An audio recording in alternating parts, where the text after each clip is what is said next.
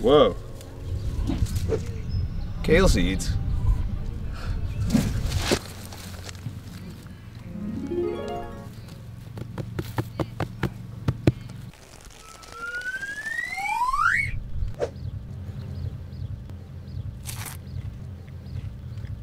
That's delicious.